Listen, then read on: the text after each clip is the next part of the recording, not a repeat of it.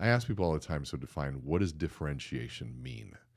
And everybody inevitably says to be different. And I always say, then if that were true, then why don't you show up in a clown suit? It's not about being different. There's a lot of things that are different. Just because you're different doesn't mean that you add value. It's time to get inside your own head. Begin with the psychology behind your behaviors and fuse it with an acute understanding of self awareness, emotion, storytelling, body language, and more. Then look at it all through the lens of the latest neuroscience research, broken down to its most digestible form. And you've arrived. Enhanced messaging, deeper connection, heightened influence, and a greater impact on the world. Welcome to the neuroside of influence and leadership with René Rodriguez. All right, welcome to another episode of the Neuroside of leadership and influence. And today's topic, we're going to talk about differentiation strategies. And that actually comes from a, a broader topic called competitive strategy. And if you're listening to this, you're probably in a competitive situation or a competitive market of some sort. And if you're in business, you are competing. And so this fits into how you compete in the marketplace. And we're going to talk about all that. So I'm I'm excited because this is something that I have talked about for a long, long time. And it's not something that people talk about. They they talk about it, but I don't know if they always understand it. And so I kind of I want to unpack it. I want to go deep on it and I want to give you some new ways of thinking about it and also see how it applies in, in terms of leadership influence. I want to talk about some of the science behind it, and I want to I want to think from just some different angles here. And so the first thing is, of course, what we always do is let's define some terms. I ask people all the time, so define what does differentiation mean? And everybody inevitably says to be different. And I always say, then if that were true, then why don't you show up in a clown suit? It's not about being different. There's a lot of things that are different. Just because you're different doesn't mean that you add value. And so let's go back to if you haven't listened to the previous podcast, I try to make these things sort of play off of each other if you haven't figured that out yet. And so go back to start with the first one. These things sort of build, but also they stand alone. But you you can't just be different. There's a great visual image, and I'll see if we can't put a link in the show notes of an axe that's made out of wood, but it's different. The handle isn't made out of wood. The actual axe head, the sharp part, is made out of wood. Very different, just of no value. And so you're not going to cut anything with that. It should be made out of metal and the handle out of wood. Just because you're different doesn't mean you're going to be valuable. And so the differentiation is a very unique thing. And I have never run up against anybody that has this definition I'm going to give you right now, because this, I think, to me, is the best definition. Differentiation is the ability to persuade people or to sell your product or service without having to lower its price. I'm going to say that again. The ability to sell your product or service without having to lower its price. Think about what that means. If you can sell your product or service and you don't have to lower its price, that means that there are no other different op- options out there. You are so different. You are so unique that nobody they don't have another choice. And so when people talk about, well, we want to be different, but yet they're out there giving discounts, that means that you have to use a marketing manipulator like a discount to convince people to buy because you don't want them to buy somewhere else. And so just by giving a discount, you're already putting yourself in a position to choose a different competitive strategy. And so you, you got to be very honest with yourself about what strategy it is that you're using when it comes to that. And so differentiation is very, very, very unique. When it comes to in economics, and here's a mouthful and that I'm going to give you, in economics, the whole concept of competition is the rivalry amongst sellers trying to achieve goals such as increasing profits, market share, and sales volume by varying elements in the marketing mix. So that would be price, product, distribution, and promotion. When they're competing, they're competing in all of those areas. And all of us basically we're competing if you're in, in a direct sales environment, if you're selling something, you're competing to who gets the next sale. And that, that's it's kind of a short-sighted view of things. You, you you should be thinking a little bit further beyond that. You should be thinking about what's coming down the pipe, what's happening in your market, what's happening in a technology standpoint. What are the factors that are playing into the long term interest rates? What's happening? What are the trends that are affecting you? Because the trends are going to affect sales coming to one year, two years, three years, five years for you. What are the new entrants in the marketplace? But it's hard when you're thinking about the next sale and what's happening, you know, from your next paycheck because you'll think, well, I'll think about that stuff later. I got to go make a sale. But this will help you with all of that because if you can differentiate yourself, you can find a way to stand out a little bit differently in such a way that you don't have to lower your price as much or at all, that it'll help everything. All of this comes down to this question of how do I compete? And let's go back to this this beginning phase of this. And I want you to go back and I want to take you back to this guy by the name of Michael Porter. Michael Porter was named one of the 50 most influential, probably was named actually the most by uh, Fortune magazine, the most influential business mind or business professor, excuse me, that ever lived. And so he's a Harvard business at Harvard Business School. But Fortune said he's the most influential. And he wrote a book called Competitive Strategy. It's a huge, thick book. And he also coined the term competitive advantage. And so think about it. If you've ever termed, well, what's your competitive advantage? You're, you're quoting Dr. Michael Porter. And within that, he talked about how do you have a competitive advantage, but there's another deeper concept within that called a sustainable competitive advantage. And we're going to dive into a little bit about that concept of sustainable, right? Sustainable is where you want to get at. Competitive advantage is okay, but sustainable is where you want to be. And so what he said in there that there's only three ways that you can compete. The first one is through being the lowest price. Think Walmart, right? It's pretty hard to beat Walmart. They beat up their suppliers and they beat up everybody. You're not going to find a much cheaper price than Walmart. And so that's the first one. Second way is through a niche or focus. Valvoline is one. You know, in our area, we used to have this thing called rapid oil change, right? You can fix a car in a lot of ways, but they said we're only going to change the oil. And the third was, if you remember this place called Rainforest Cafe, they did through differentiation.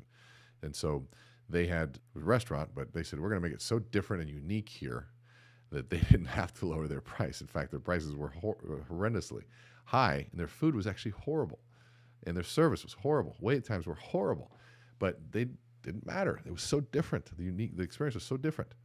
Now they went out of business, so it's probably a pretty horrible example, but it was different. So we're going to cover some other examples there that are more modern, but I wanted you to get a sense of what we're talking about. So when we're thinking about those elements, going back to this concept of sustainable, technology isn't always sustainable because a lot of times you can just write a check and somebody else can do that. Your product isn't sustainable. Recently, I, I, I do a lot of work, obviously, in the mortgage industry. And I remember there was an increase in the amounts uh, for a jumbo mortgage. And I remembered one side of the community was saying, going crazy, wow, we got a chance to do the jumbo loans at this rate for, you know, because one other side of the industry couldn't do it and they got so excited. And one bank said, well, hold on, we can't do that. They made a few phone calls. And literally the next day, they all had it too. And you realize that that was a competitive advantage for less than 24 hours. And you start realizing those aren't competitive advantages. They're not sustainable because people can replicate them. And so when you're talking about distinct capabilities, you're thinking things that are going to be sustainable. Intellectual property rights, that's that's sustainable, right? That's uh, you know exclusive li- licenses, monopolies. But guess what? Most people don't have those, right? And so reproducible things that are not sustainable, technological capabilities, financial capabilities, marketing capabilities, uh, knowledge, those aren't sustainable. But people think they are. But now, what is sustainable? Having a strong brand. We get into personal branding. I can't stress it enough the importance of personal branding today. You have to invest in it. You have to figure out who you are in this place, what you believe. You got to put some money behind it. You got to put some effort behind it. Leadership. God, what a difficult thing to replicate. A good, strong leadership team people that care, uh, a strong vision. organizational culture, like true culture that communicates well. When you walk in, you go, "Wow, what is this place?" That is is is a sustainable one. That's hard to replicate. Business processes. You ever you ever work for a place that just had horrible processes, and you go somewhere else and things are just smooth? That's a sustainable advantage. Partnerships, where you go into a place where you just like you've got great lead partnerships, you've got things that just happen smoothly. Those are are sustainable. So those are the things you want to go after. And so when you start thinking about it from that perspective, this whole concept of how I compete in a marketplace. Do I want to be the lowest cost provider? Well, if you're providing discounts, that's your choice. Now, not saying it's a bad thing. It definitely is a very viable way of competing. You just know that the lower you lower your price, the less margin you have, and the more sales you have to make to make up for it. So you have to increase your workload to be able to make the, make up the income loss, right? So there's always a give and a take. And what ends up happening a lot of times is if there's not as much margin, you have to work harder. Service levels sometimes suffer. It, you just don't have as much money to invest. You have to go make up in volume. I mean, there's a, there's, a lot of complexities in that. And if you don't plan on increasing volume and you're lowering your margin, then you're shooting yourself in the foot. Again, this is called strategy, which strategy implies that you're looking at all angles. If this, then that. You're trying to, it's like a chess game. You're trying to think three, four, five, 10, 15 moves ahead. So all of these are viable strategies. You just have to decide which one's yours. And so let's play a little game. We're going to start four brands, four companies. And I want you to see if you can guess what brand we're starting. So the first one is we're going to start a, an ice cream brand. And our marketing strategy is we're going to open up posh ice cream parlor shops and we're going to get featured on the menus of high-end restaurants. Can you think about what brand comes to mind when we think about that? If you're thinking Haagen-Dazs, you are correct. So that's how Haagen-Dazs started. We're, they opened up these really swanky, posh ice cream parlor shops, and they went to the nicest restaurants they could, and they said, "Taste this ice cream. Think of the quality of the cream that we used, and the flavors, and even the the names and everything." And it says we're going to exclusive in these fine dining restaurants, and they position themselves as being this amazingly high quality ice cream, and that's how they got their start. And so that was Haagen Dazs. And so now we're going to start a chocolate company, but we're going to do that by building a theme park. And we're going to focus on just one product, a chocolate egg. And we're only going to sell that egg around one holiday, and that's Easter. And if you're guessing Cadbury, ding, ding, ding, you are correct. And so Cadbury said, we're going to have just a focus. We're going to focus on one product, and we're going to build a theme park. Again, something very, very different and very, very unique. And it grew and grew and grew. And the next one that we're going to start, we're going to start, start, a- start a skin and body care retail, retailer. But the way that we're going to do this is we're going to focus on social causes. We're going to say that we're talking about uh, being against animal testing. We're going to support co- local and community trade. We're going to activate self esteem. We're going to defend human rights. And we're going to protect our planet. If you're thinking the body shop, yes, you are correct as well. And so here is something that is totally different that the body shop during their time rose and skyrocketed to the top. And the last one, we're going to start a circus. Now, at the time that we're starting the circus, we've got two uh, big incumbents. We've got Shrine Circus and we've got Ringling Brothers. Basically, giving their tickets away for free in hopes that people will buy concession stand sales, uh, stand sales, and maybe some swag and some T-shirts and some hokey little gifts. And that's basically how they make their money. But we're going to do it differently. We're going to eliminate star performers. We're going to eliminate all animals, so we don't have to worry about PETA. Uh, we're going to eliminate aisle concession stand sales because it just seems a little cheesy. We're going to make it immensely more expensive. We're going to lower our cost by because we're going to host it in parking lots, and we're going to let's see what we can do. Increase the the experience by adding live music. What did we just start? Of course, Cirque du Soleil. So, all four of those examples had a couple things in common. One, none of them are U.S. corporations because U.S. at the time of all of these had a mass mass marketing uh, sort of access. We billboards, TV, radio, all of that.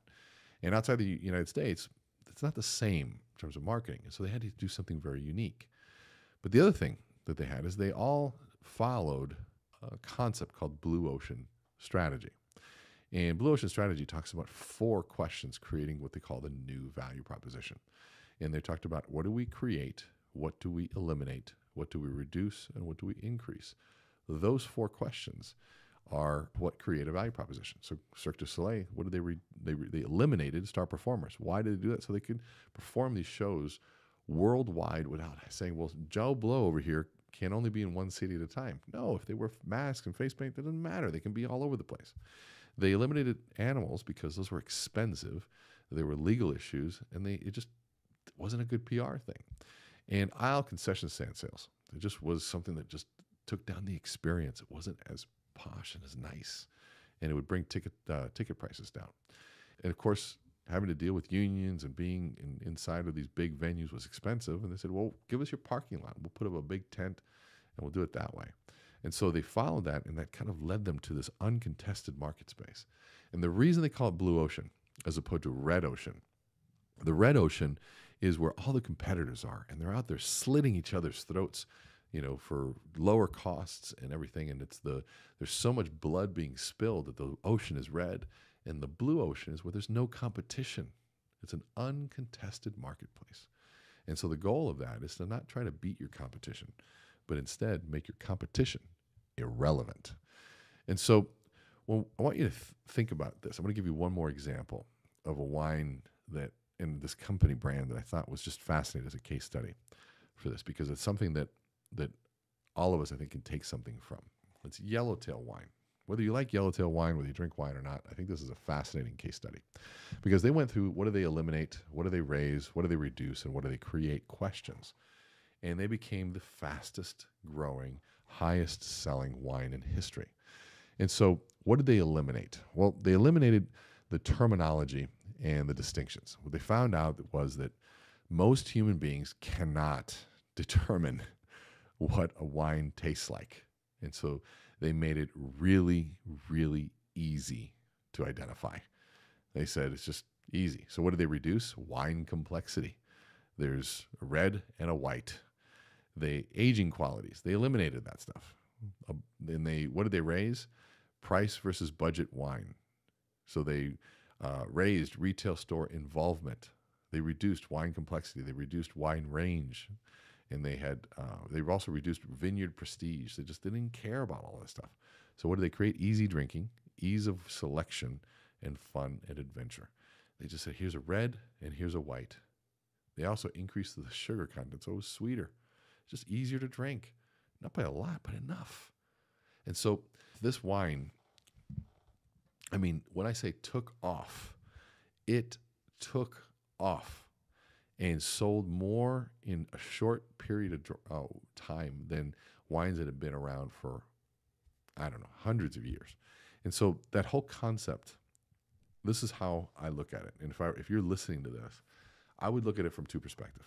I would ask myself those four questions from a client's perspective and from our own business. So how does that work? I would go for our clients as a value proposition what do we need to reduce, eliminate, create, and raise? Okay? And we would say all of those things.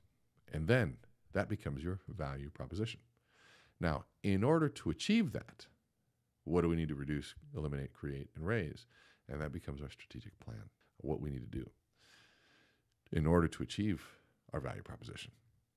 If you look at it from that perspective, here's our value proposition, and to deliver a value proposition, we need to reduce, eliminate, create, and raise. And that's external. But to be able to become that, internally, we need to reduce, eliminate, create, and raise things as part of our strategy. And so, looking at those two side by side, you start seeing how they sort of play off of each other and how we could pull them together. Differentiation strategy, fitting a part of this sort of broader competitive strategy where do you find yourself? Are you just out there saying, What's my next deal? What's my next event? What's my next promotion? because competitive strategy goes way further than just selling a product. I mean, this is competitive strategy in terms of leadership and who's getting promoted, who's going to get the budget. This limited budget. Are you able to make the case? Are you able to influence those that are holding the purse strings, the bigger partnerships, all of those elements? And so I want you to think about it from your perspective on how this applies. So thank you for tuning in today. Again, find us on our Facebook group, ask questions. Please continue to engage. I absolutely love doing this. This has been a, a, an absolute fun time. Please buy our book, amplifiibook.com. It's amplify with two eyes. Or go to meetrene.com and you'll see all the links there. Continue to like, share, subscribe, all that stuff. The comments and, and, and the feedback's been fantastic. So we really, really appreciate you you tuning in. And if you would, uh, take a look at our AmpCon live, or excuse me, AmpCon 2022 in Las Vegas on March 14th, followed by Momentum Builder on 15th and 16th at, at uh, Caesar's Palace. All three events in a row at uh, Caesar's Palace Resort and Casino in Las Vegas. It's going to be a great time. So if you're there, uh, register, use code Renee100 on both events, and you'll save 100 bucks on mine. So right now, it's three ninety five a person after your code's an early bird special, which is going away very soon, by the way. So thanks for tuning in, and we will see you here each and every week. Take care.